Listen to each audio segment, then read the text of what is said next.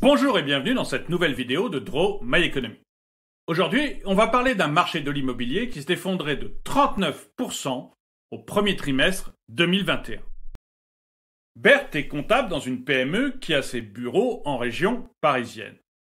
Sa vie avant le Covid, c'était lever tôt le matin, bus, métro, arriver au bureau, travailler avec ses collègues, déjeuner à la cantine du bureau le midi, puis reprendre son travail l'après-midi, puis de nouveau bus, métro, et rentrer chez elle vers 19h, 19h30. Et son employeur était plutôt satisfait du travail de Berthe. En dix ans de compta dans l'entreprise, presque jamais absente. Une seule fois, pour des calculs rénaux. Mais est-ce qu'on peut vraiment appeler ça un accident du travail? Bref, tout se passait bien pour Berthe jusqu'en mars 2020. D'un coup, confinement. Et elle a été surprise comme toutes les personnes de son entreprise. Et puis, passé le confinement, pour des raisons de sécurité, son entreprise lui a demandé de se mettre au télétravail. Berthe s'est donc retrouvée à travailler de chez elle, et elle n'est pas du tout la seule dans ce cas. 39% des salariés d'Île-de-France ont été mis en télétravail, quel que soit le secteur d'activité. Après un temps d'adaptation un petit peu compliqué au télétravail, Berthe, comme la grande majorité des salariés, y a pris goût. Après tout, le télétravail, c'est un peu plus de liberté, c'est moins de temps passé dans les trajets, que ce soit le métro ou le bus.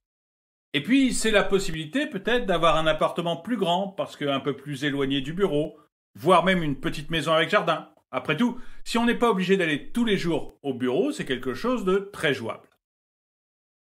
Aline Lébifton est la directrice financière de l'entreprise de Berthe. Et pour elle aussi, il y a un énorme avantage au télétravail. Après tout, si tous les salariés ne sont pas en même temps au bureau, cela permet d'économiser énormément en surface. On n'est pas obligé de louer des bureaux aussi grands qu'avant. En fait, l'économie pour l'entreprise peut être gigantesque. Tout dépend du pourcentage de salariés qui peuvent être en télétravail, du nombre de jours de télétravail qu'ils peuvent faire et de l'aménagement des bureaux que l'on peut faire parce que quand les salariés vont venir, c'est plus pour des réunions et donc il faut plus d'espace collaboratif. Aline fait ses calculs pour savoir combien d'espace l'entreprise pourrait économiser. Alors, les salariés sont obligés de venir pour se voir entre collègues et pour qu'il y ait un esprit d'équipe dans l'entreprise, et puis parce que finalement, être dans une entreprise, c'est aussi une vie sociale pour les salariés, mais mettons que 60% des employés soient en télétravail. Et mettons qu'ils télétravaillent un jour par semaine.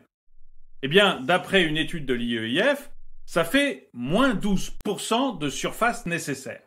Et moins 12% de surface nécessaire, eh ben, ça fait moins 12% de loyer. Pour Aline, c'est un point crucial. Mais ça, c'était déjà la tendance avant le Covid-19. Il y a une étude de 2018 qui montre que 24% des entreprises voulaient déjà faire du télétravail en 2018. Mettons maintenant qu'ils prennent non pas un jour de télétravail par semaine, mais deux. Eh bien, dans ce cas, on est à 27% de bureaux en moins. 27% de bureaux en moins, c'est 27% de loyer en moins. Et là, Aline, elle exulte. Elle vient de faire faire une économie à son entreprise de 30% sur un poste qui est très lourd. Et selon l'étude de l'IEIF, si 41% des entreprises d'Île-de-France font le même calcul qu'Aline les Bifton, eh bien ça fait quand même 3,3 millions de mètres carrés rien que sur le parc immobilier francilien. Emporté par la fièvre de l'économie, Aline continue ses calculs. Si au lieu de deux jours, on prenait 2,2 jours de télétravail par salarié, eh bien ça fait quand même 36% de surface en moins. 36% de surface et donc de loyer en moins. Sacrée économie. Et ce calcul, beaucoup d'entreprises l'ont fait, parce que 54% des entreprises interrogées par le groupe Parella se sont dit prêtes à faire 2,2 jours de télétravail par semaine à leurs salariés. Et au niveau du parc francilien, cela fait 6 millions de mètres carrés en moins. Finalement, pour Aline Lébifton, c'est une économie incroyable, et pour Berthe, c'est une plus grande liberté, la possibilité d'avoir un appartement plus grand, voire une petite maison en province. Du coup, Aline comme Berthe y pensent intensément. Et le résultat de leur cogitation, on le voit au premier trimestre 2021. D'après le bilan trimestriel d'Imostat, qui fait référence dans le secteur, entre janvier et mars, la superficie totale de bureaux loués en région parisienne a reculé de 30% par rapport à l'année précédente. Et la surface louée change aussi beaucoup, c'est-à-dire qu'actuellement, les très grandes surfaces ne se louent plus du tout, et ce sont les petites surfaces de 0 à 1000 m2 qui sont les plus dynamiques. Pourquoi? Parce que des entreprises comme celle de Berthe ont besoin de moins de surface, puisqu'elles ont mis beaucoup de leurs salariés en télétravail. Alors cette baisse de la demande, elle varie suivant les secteurs. À Paris et Tramuros, par exemple, c'est une baisse, mais une baisse de seulement 21%. Et si je vous parle de Paris, c'est parce que j'ai des chiffres applicables surtout à l'île de France. Mais cette baisse, on la voit aussi en province. Et c'est là que je fais un lien avec mon titre, moins 39% au premier trimestre 2021.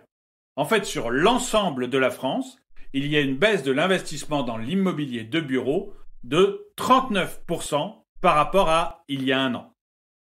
Et donc on peut voir qu'il y a un effondrement global sur toute la France de l'immobilier de bureau. Et moi, ça me pose une question supplémentaire sur l'immobilier d'habitation. Que vont devenir tous ces bureaux non loués? Pour certains, ils ne peuvent être que des bureaux, parce qu'ils ont été faits comme ça, avec des grandes baies vitrées, et que ce serait quasiment impossible à transformer en logement. Mais pour beaucoup de bureaux qui sont dans de l'ancien ou intramuros, finalement, les transformer en logement, ce ne serait pas si compliqué que ça. Et donc, on va voir beaucoup de mètres carrés arriver du bureau vers le logement. Et comme on a un immobilier de logement qui est déjà en train de baisser dans la moitié des villes de plus de 100 000 habitants, je pense que cette nouvelle offre va continuer à faire baisser l'immobilier et nous rapproche petit à petit d'une correction forte, peut-être d'un crack. Et vous, qu'en pensez-vous?